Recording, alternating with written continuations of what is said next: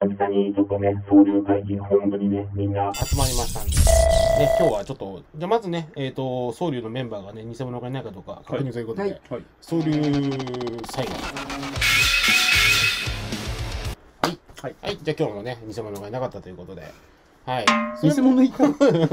実は過去動画にいたかもしれない。ああ、なるほどね。ゴム人間ですか？それは。こっちになっちゃってるやつね。ガリってね。こっちになっちゃってるやつね。そうそうそう、もしかしたらね、いるかもしれない。まあ正解はこっちということそうそうそうそう。はいなるほどでね、まあちょっとね、あの、過去のね、動画でもね、えっ、と、やってきたんだけど、うんえっ、と、その中でね、特に、あの、シンボルマークについて、うんはいはいはい。ちょっとねシンボルあの、今日はね、深くふ掘り下げていこうかなと思います。うんはい。まあ前回のやつはね、あの、1ドル札であったシンボルマークについてだったんですけども、今日はね、国流さんに、うんまあ1ドルだけじゃなくて、他にもあるということで、他にも？はい。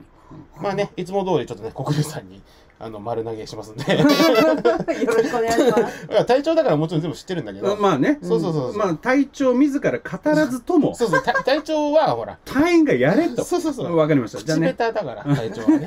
そうそうそうそう。今回もね、うん堂々とカンペを見ながらね、やっていきたいと思うんですけど、はい。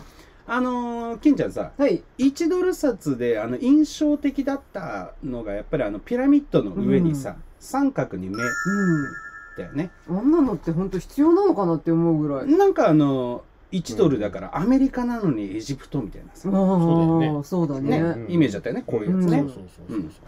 それで、まあちょっとね、隊長に調べてこいとはい言わ。れたんでね、うんちょっとやってみようかと思うんですけど、はい。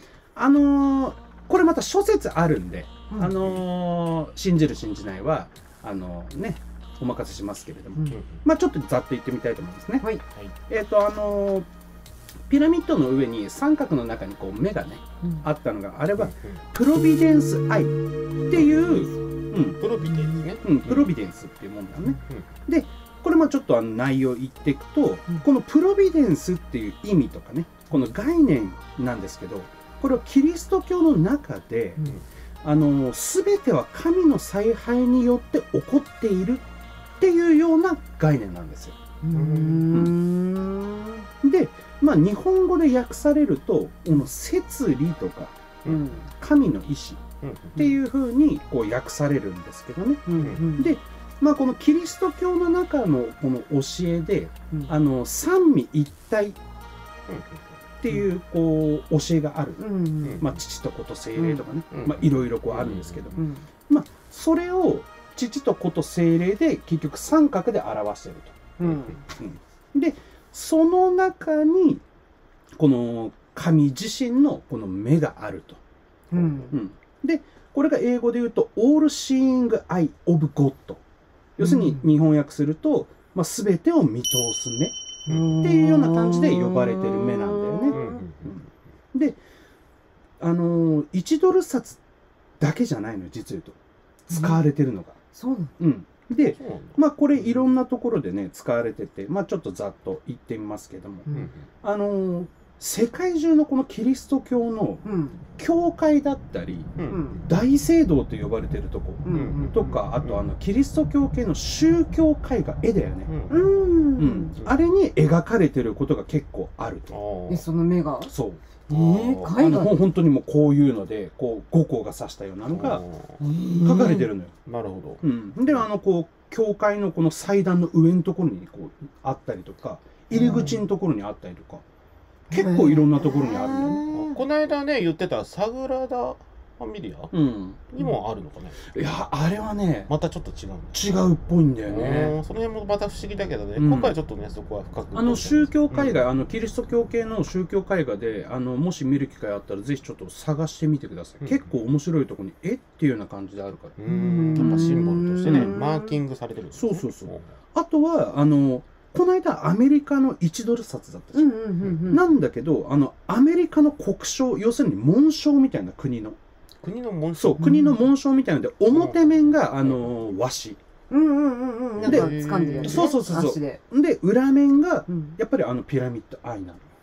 うーんなんだ。あの、こう、ピラミッドが描かれてて、上にこう、三角の目があるんだよね。なんか意味深いですね。表と裏が。うんそうそうそうで、あとは、錬金術の絵なんかにも描かれてる。錬金術？そう、錬金術。あの、ヨーロッパでさ、ほほほほほ。一時期ね、うん鋼の錬金術師とかで話題になってそれしかもる。うん。まあまあ頭錬金術ね。まあ、あの中世とかね、その古代の方でこう、まあ、ただの石ころを金に変えるとかね、うんうんうんあまあ、ま不老不死を追い求めるみたいなね、うんまあまあ、確かに、まあ、あのー自分対象だから、もちろん知ってるんだけど、ね、うん。そうね、やっぱりその錬金術師っていうのは、うんうん。その昔の時からちょっとそっち系と関わってるって話をちょろっと聞いたことながあるんですね。だから、かなり深いところにあるかもしれないですうね。あとはものすごく有名なものがあって、うん。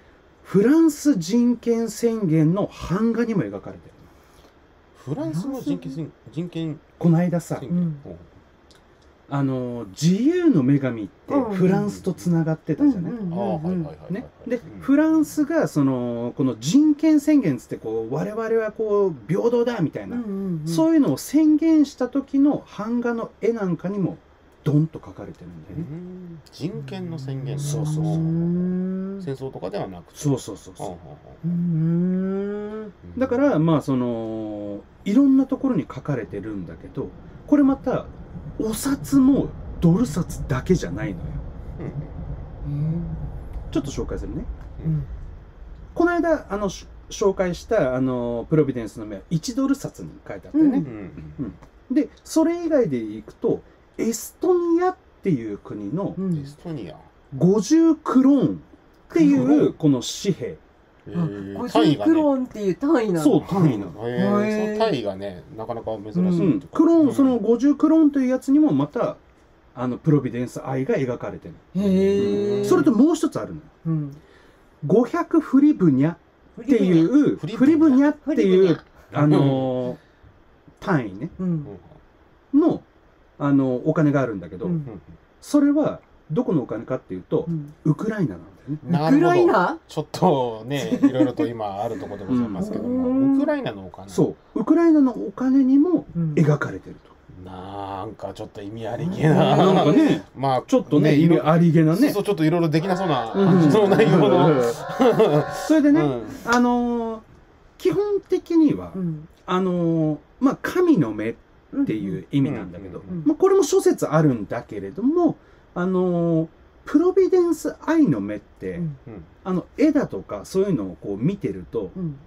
あのまあ目尻とか目頭の位置から考えると、左目が使われてるんですよ、うん。左目。うん。まあ、右目もたまにあるんだけどうん。大体左目なのね。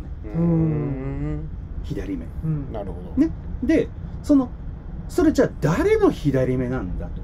うんね。1ドル札に見合わないエジプトが出てきてうん。とかっていうのあったじゃん、うん。ピラミッドが出てきてみたいな、うん。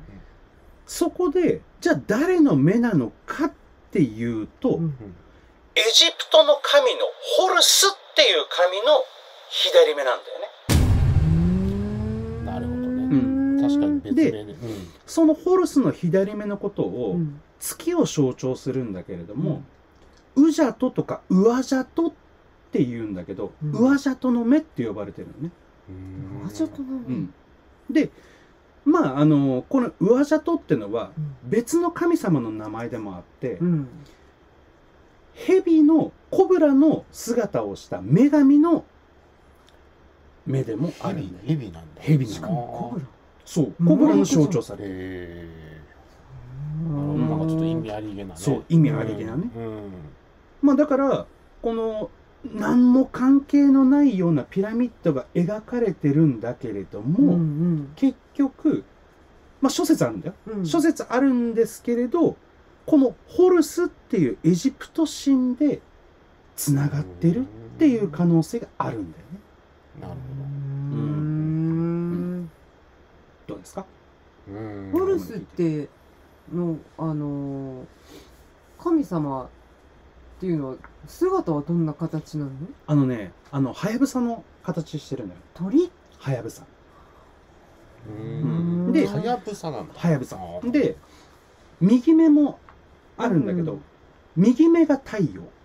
うん。左が月を象徴するって言われてるのね。うんなるほど。それで左目だから月なんだ。この左はその太陽なんだけどこれはラーの目とも言われてるうん。ラーってのもいるよね。うん。あのホルスのお父さんと言われてる人だよう。ね、うん。ん。っていうまああのそれも太陽神なの。うん。うん。ラーってのは太陽神で、うんうんでこのホルスっていうのはまあ要するにそのそれの子供でこういろいろこう神話があるんだけども、右は太陽左はこう月を表すようなね、じゃあうんお金に月のマークを入れてるって単単純にだよ、うんうんうん。お金とかそういったものに月のマークを入れてるってことになるの？うーんこれねちょっ